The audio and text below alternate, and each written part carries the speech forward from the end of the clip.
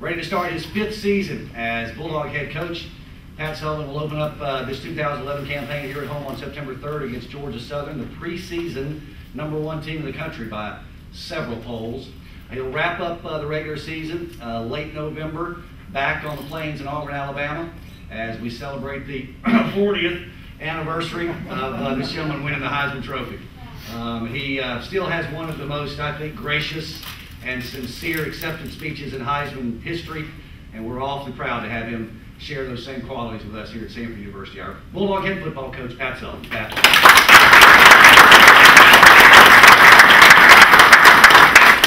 Thanks, Mike, and Mr. Neal, it's wonderful to see you. Uh, Great to see Mike, my old teammate. You mentioned the Heisman, and it was a couple of years ago, and give you a little bit back. Uh, You know, just about guys, all the games on TV, you watch them on the bus coming home, you watch them all during the day. There was only one, one game that was on TV, it's called the Game of the Week and we played Tennessee. Tell you how uh, it's different. The ninth game of the year, we played Georgia in Athens. Both of us were undefeated. They were number four in the country, and we were number five. Game was on TV. Tickets were seven dollars and fifty cents. Going back to the Tennessee game, uh, Mike there, and probably one of the main reasons that uh, I won the Heisman was uh, that game was on TV and it was being broadcast throughout the nation. We were behind about two minutes to go in the game, if I'm correct. By six, Tennessee's driving on about our 30, 35 going in. They fumble. Mike Neal recovered it. We're fortunate to go down and score in a two-minute drive and win the game. Uh, you know, That was, uh, that was a big, big thing for us, so. Better be lucky than good. That's right. Just so uh, you'll know, Mike is our starting linebacker. Sean's there, and Sean's one of our smaller linebackers, about 210. They go to about what's uh, 240, something like that. So it, it's it's changed. But uh, to, to say uh, I'm excited about today, we're all excited about the new year every time it gets started. Before I, I go on, I'd like to introduce our staff. I think we have the, the finest staff that, uh, in working together that, I, that I've been with. And I'll just start right up the back and do it real quick. James Joseph, coaches our running back. Travis Trickett coaches our, our slots and, and uh, our tight ends. Rhett Lashley, our quarterback's offensive coordinator.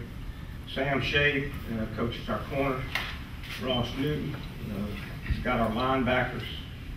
Uh, Antonio Carter's got our wideouts. Billy D's got our safeties and defensive coordinator Brandon Herring, our offensive line. And uh, Roy Seegers is our defensive line, our special teams coordinator.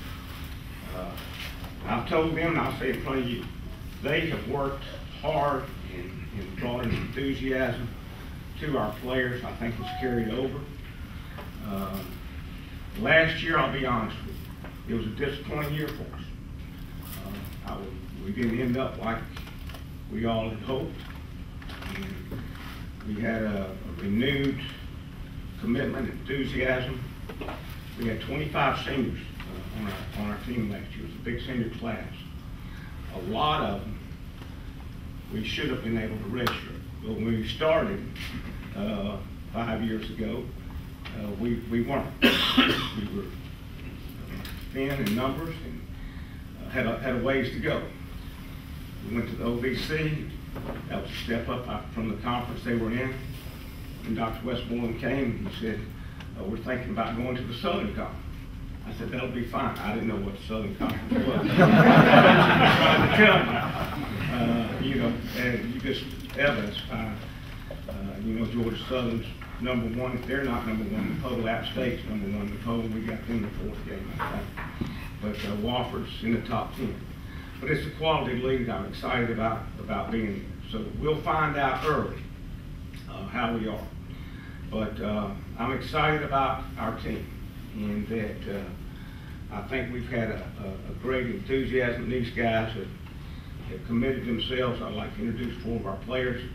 Alex Davis is a defensive end for us, been starting for four years and got a, a chance to have a, a banner year preseason all conference. Charlie Sanford's our starting left tackle. Student athlete, a Beeson scholar. Glad to have Charlie. Ryan Duchok, we're glad to have you coming back. Ryan's a junior and our starting center. And then Sean Thompson. Uh, Sean is uh, going to wear our number five jersey this year. Number five jersey is named after Charles Williams, who was a player I did not know before he passed away, uh, before I got here. But he was a young man that was a student, was a leader, was a team player, and always doing the right things.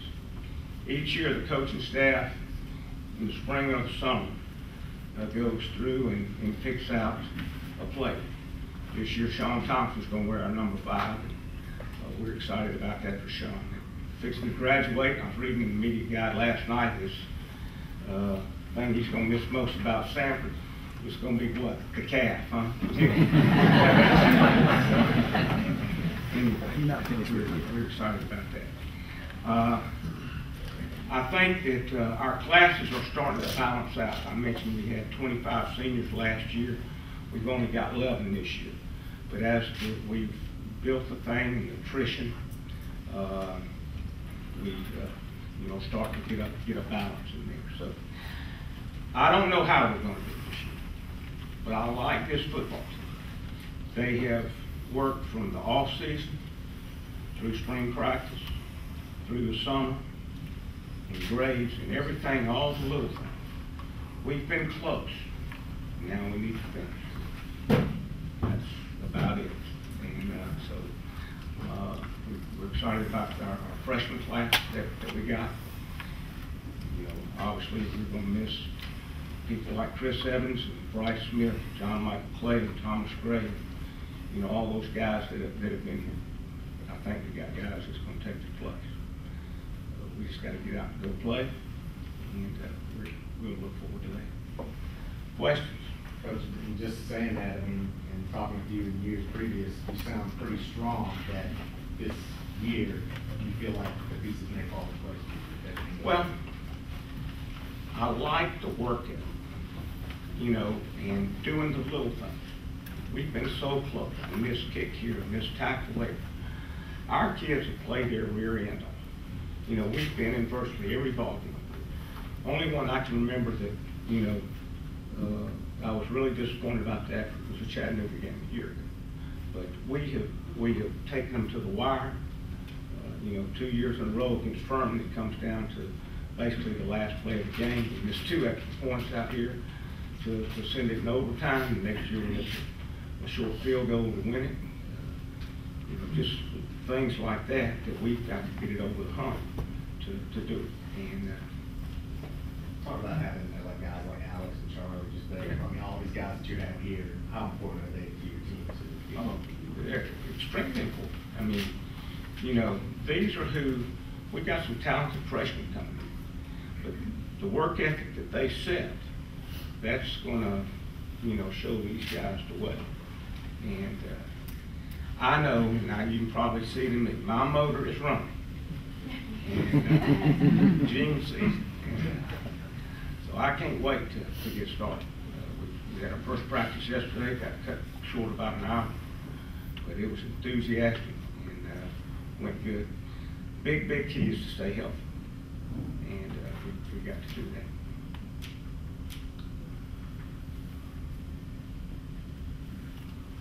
Coach, what about this new offense? Well, a lot of the things that we're doing now, we've done a little bit in the past. But I, hopefully, we're taking it to another level. Reps come in along with Travis and, and James and uh, AC and Brandon on, on that side of the ball. And, uh, we played an up-tempo, basically this fast break offense. You gotta be in shape, right, guys? And, uh, it's, uh, you know, we gotta, our, the whole, it's no secret to it, you know. we gotta win in the third and fourth quarter. If we're gonna, if we're gonna be successful, uh, everybody said, of course, you know, Rhett came from Auburn. Oregon last year, both those teams played in, in the national championship game. If you go back and study and look, how many games were you behind at half or, or just tied, Rhett? Or at least seven or eight. seven or eight, and you win it, you win it late, and that comes back to conditioning and taking care of the little things. And so that's, uh, the same way with Oregon. I know uh, Chris Brassfield, who's on our staff, was at Oregon, you know, he talked about the, the same thing when we talked this offseason.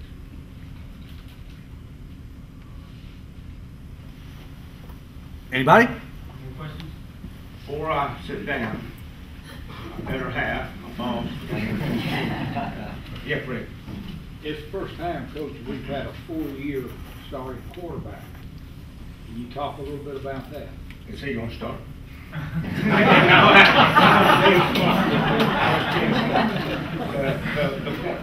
Dustin, yeah, Dustin, Dustin, uh, is, you know, been, uh, started as a freshman and come along. But the, the point that I'm making is everything's kind of open. And, uh, we've had some young guys, Fred Hardman and Neal, both those guys, uh, we redshirted a year ago. They had, they had outstanding spring. And, you know, I think Dustin will be the quarterback. But We got, how many more days, Fred? About twenty-eight? And, uh, so, uh, he hasn't done anything to say he's not gonna be. But right now, we'll, let's go earn it.